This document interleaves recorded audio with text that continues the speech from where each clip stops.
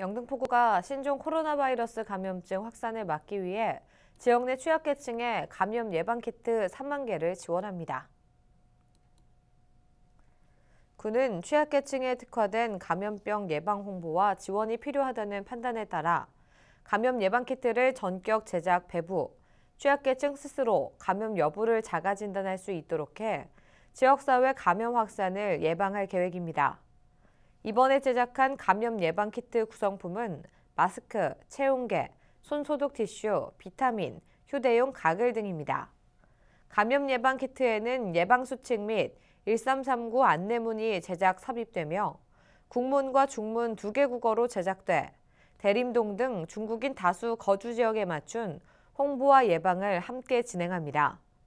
군은 주말 동안 예방키트 샘플 20개를 제작해 공사 현장 및 대림동 주거 취약 가구 등에 시범적으로 배부했으며 2월 중순까지 만 개의 감염 예방 키트를 추가 배부할 예정입니다. 군은 사태가 진정될 때까지 특히 중국인 밀집 지역 중심으로 배부 대상자를 확대해 총 3만 개를 지원할 계획을 세우고 있다고 밝혔습니다.